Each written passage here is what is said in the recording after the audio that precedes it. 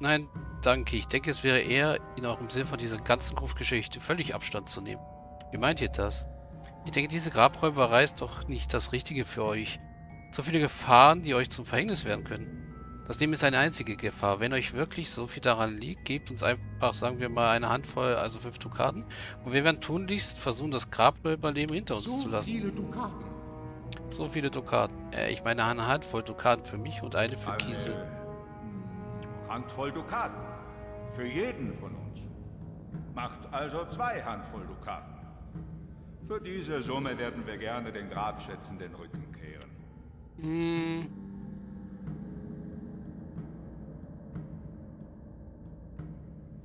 Einverstanden, hier sind eure 10 Dukaten. Von nun an will ich euch nie wieder beim Grabräumen ertappen. Ihr habt euer Wort, nie wieder werde ich auch nur einen Fuß auch in die Nähe einer Gruft setzen. Schwöre es. Also gut, ich schwöre bei allem, was uns hoch und heilig ist, dass wir nie wieder von den Verblichenen stehlen werden. Ich Tastein. recht großzügig. Damit hätte ich nicht gerechnet. Ja, verdammt, wir suchen uns eine neue Berufung. Auch wenn es schmerzt. Mich zumindest. Es ist besser so, Drastal. Und ich möchte euch als Zeichen unseres Dankes für diesen Haufen Geld etwas geben. Unser letztes Fundstück. Ein wenig Schmuck. Frisch aus der Gruft. Macht damit, was ihr wollt. Wir gehen erstmal nach Moorbrück, anheben und nachdenken, was wir zukünftig machen werden. Ja. Fragen wir mal nach der Bohrung geweiht. Ich bin auf der Suche nach einer Bohrung geweiht. Habt ihr sie zufällig gesehen? Gesehen, äh, nein, haben wir nicht. Wieso ist sie also verschwunden? Da wird schon nichts passiert sein. Menschenkenntnis. Meine Gegenwart scheint euch zu beunruhigen. Also weshalb habt ihr kurz gezögert? Was wie... Ach, es war sowieso eine totische Idee. Ich wollte das alles von Anfang Halt die an nicht. Nein, ich rede jetzt. Wir sind zu weit gegangen, Trastein. Wenn wir uns niemandem anvertrauen, macht dieser widerwärtige Kerl uns doch den Gar aus. Oder beschert uns ein grausiges Untotendasein. Ein grausiges Untotendasein bescheren. Wovon redet ihr? Es gibt ja einen Nekromanten im Sumpf. Der hat uns... Der hat uns, wie ihr auf frischer Tat ertappt, wollte uns gleich zu seinen Dienern machen. Wir haben uns nach Leibeskraft gewehrt, doch wurden wir schnell überwältigt. Ich konnte ihn jedoch überzeugen. Überzeugen? Wie ein greinender Hosenmatz hast du gebettelt. Ach, wo die Leiche eh aus dem Sack ist, kann ich auch sagen, wie es wirklich war. Mein Kumpel flehte um sein Leben, während ich mit dem meinigen bereits so gut wie abgeschlossen hatte. Was geschah dann? Dieser dunkle Zauberer wollte uns gerade den Garaus machen, als er plötzlich innehielt, so als ob er eine innere Stimme ihn zurückgerufen hätte. Von Sinneswandel zu sprechen wäre übertrieben, doch war er mit einem Mal beinahe umgänglich. Er verlangte von uns die Burgengeweide des Dorfes aus dem Weg zu schaffen. Nur dann wollte er unser Leben schonen. Mehr noch, er, er sicherte uns sogar zu, dass uns die Untoten nie wieder behelligen würden. So haben wir zugesagt. Wir haben Molinde in eine der Gruften gelocken können, zu der wir einen Schlüssel hatten. Also Tür zur Geweihte weg. Dem Nekromanten haben wir den Schlüssel gegeben. Zwar hat er uns verschont, aber völlig zufrieden schien er nicht. Er wollte die Frau wohl tot sehen. Dennoch hat er Wort gehalten und uns verschont. Wir konnten nun selbst in die Grüfte hinein, die zuvor wegen der Untoten unmöglich zu betreten waren. Mhm. In welcher Gruft genau habt ihr Molinde eingesperrt? Der Geweihten dürfte nichts geschehen sein. Sie ist noch nicht allzu lange eingesperrt. Die Gruft liegt recht nah am Dorfeingang. Ich zeichne euch die genaue Lage auf eurer Karte ein. Menschenkenntnis, tut das. Ich werde dort nach dem Rechten schauen. Falls hier etwas zugestoßen sein sollte, weiß ich ja nun, an wen ich mich zu halten habe. Allerdings ist da noch etwas, den ich, den ich sehe, es euch an der Nasenspitze an. Irgendetwas anderes liegt euch noch auf, dem Her auf der Seele, nicht wahr? Wie macht wo hier? Ach nun gut, da ist mir wirklich noch etwas Sonderbares aufgefallen. Gerade als wir unseren dunklen Pakt mit dem Beschwörer geschlossen und rasch das Weite gesucht hatten, sah ich, wie ein großer Mann aus dem Dorf Muttersehen allein in Richtung der Ruine unterwegs war, von der wir knapperrot entrinnen konnten. Ich erinnere mich, verfluchter Nebel lag da in der Luft. Wir waren uns daher nicht sicher, ob es nur ein Untoter war. Du warst dir nicht sicher, doch ich, ich sah ihn zuerst und auch länger als du, Tra Traschstein. Einen solchen Gang hat nur der Büttel, denn kein Untoter schreitet so forsch durch das Moor. Die anderen Moorbrücker sind zu stau und oder zu große Hasenfüße, als dass sie allein durch dieses Gebiet streifen. Sehr interessant. Ich werde den Büttel darauf mal ansprechen müssen. Euch noch einen an andächtigen Abend auf dem wiedergefundenen Pfad der Tugend. Ja, keine Sorge. Wir werden von nun an ehrlich leben. Komm, wir gehen, Traschstein. Okay, wir haben Schmuck erhalten. Bei dieser Kette ist Vorsicht geboten. Der Grabschmuck stand nicht unbedingt aus einer sicheren Quelle und könnte durchaus verflucht sein. Aha. Grabschmuck. Ich habe von zwei Raubräubern Grabschmuck erhalten. Allerdings beschleicht mich das ungute Gefühl, dass ich den Schmuck so schnell wie möglich loswerden sollte. Ja, befreie Molinda aus der Gruft. Zwei Grabräuber, genauer gesagt einer von ihnen, hat gestanden, Molinda in einer Gruft eingesperrt zu haben. Freundlicherweise hat er mir auch gleich die Gruft auf der Landkarte eingetragen. Nur das. Jetzt der. Was sagen die beiden?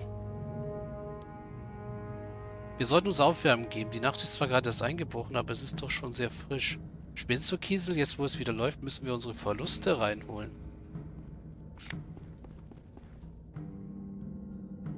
Morgen ist auch noch eine Nacht. Komm schon, lass uns gehen. Richtig, eine Nacht, in der du mich genauso voll jammern wirst wie jede Nacht, also vergiss es.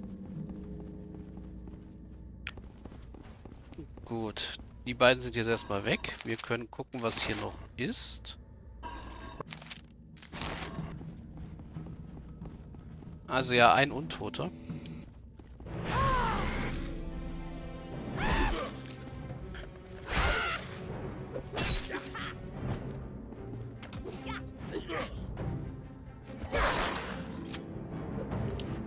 Amazone voraus. Aufgepasst!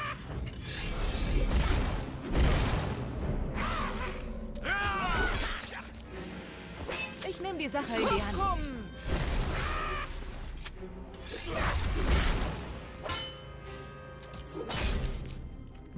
Ich versuche mein Bestes. Okay. Das heißt, wir können auch die andere Gruft uns ansehen, die nicht, die verschlossen ist. Also da drin werden uns wahrscheinlich wieder Untote begrüßen.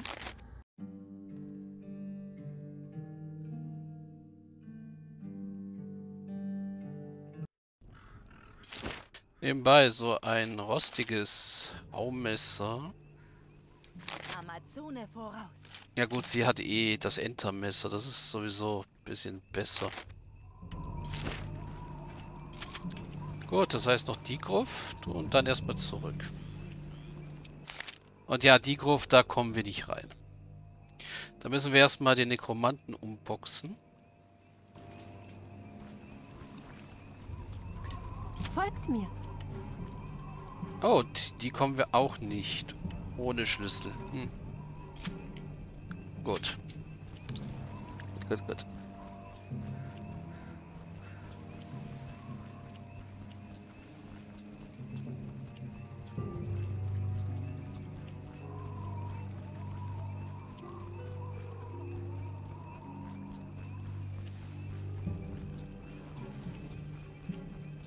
Oh, noch eine Riesenkrabbe.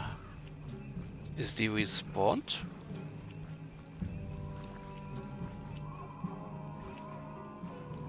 Und ein Autosave. Hm. Alle mal hergehört, Königin. Für Bei meiner Hand.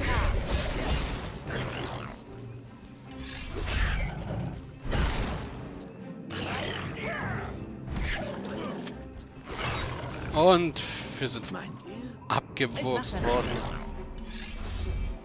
Das bin ich. Vorax.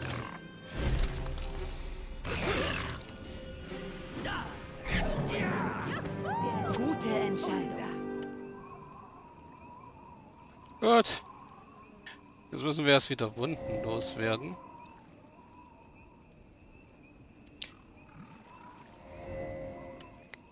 Ja, Krabben können echt böse reinhauen.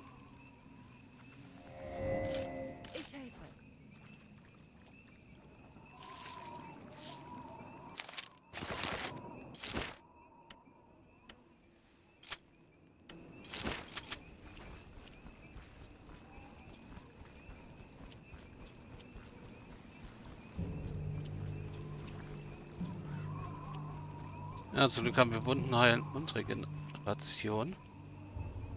Habt ihr allen Ernstes geglaubt, dass ihr mich bei der Hinrichtung bloßstellen könnt und dann ungeschoren davonkommt? Oh. Männer macht ihn den Gar aus.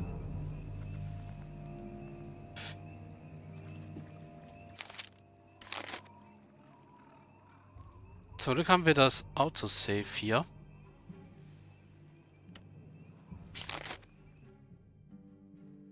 Weil das sollte ich, wollte ich eigentlich erstmal nicht triggern.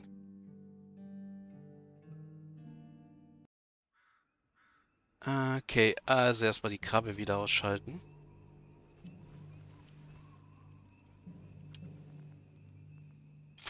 Für die Königin. Für Randra. Zeritus.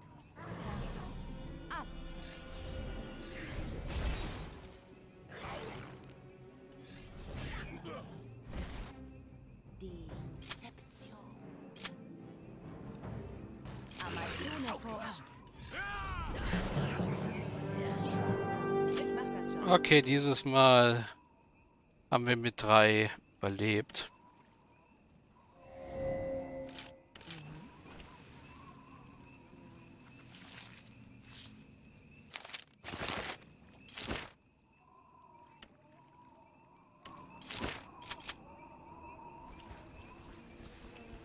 Das heißt, wir haben eigentlich gar keine andere Wahl, als erstmal zu den Tempelruinen zu gehen.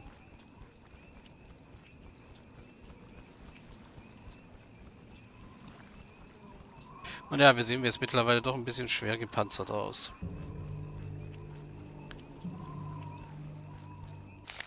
Und ja, die Gruft müssen wir öffnen. Dafür brauchen wir aber erst den Schlüssel vom Nekromanten.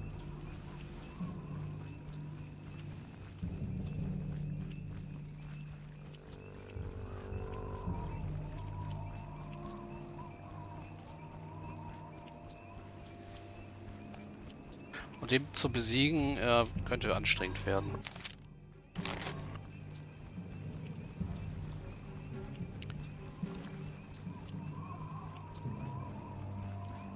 Ja, noch mehr verwitterte Inschriften. Oh, da ist eine Grabinschrift, die wir lesen können. Niemand sollte den Tod des eigenen Kindes mit, den Tod des eigenen Kindes miterleben müssen. Schlafe, mein Sohn, von jetzt ab in Borons Armen. Hm.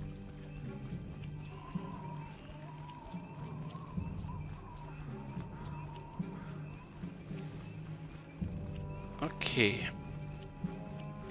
Oh, hier ist hier nur noch eine Krypta und eine Insel. Ne, zwei Krypten. Oh. Oh, oh, oh. Ach du meine Güte.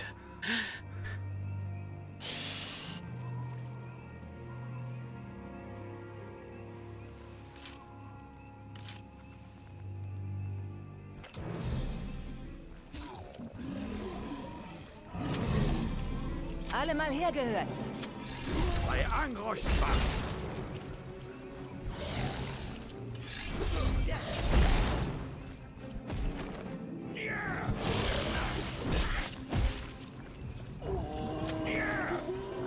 Nimm die Sache in die Hand. Für Ardo. Folgen, Candidus.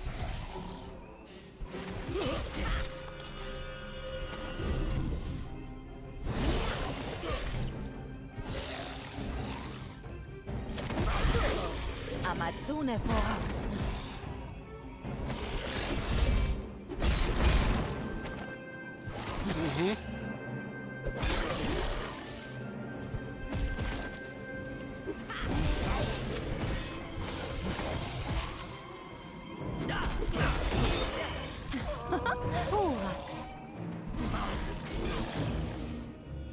Sie sind viele, aber sie sind nicht stark zum Glück.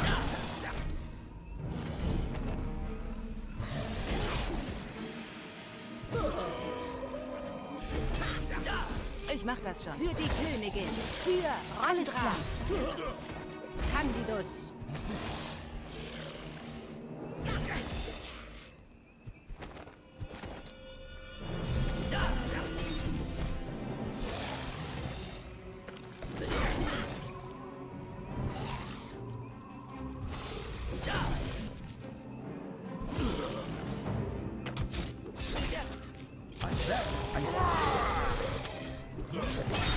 Äh, nicht wegrennen, vorgrimm, das wollte ich eigentlich gar Alle nicht. Mal hergehört.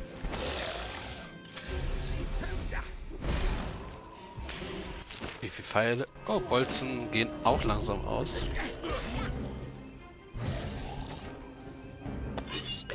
Hier sollte ich dann eher für den Nekromanten aufhalten.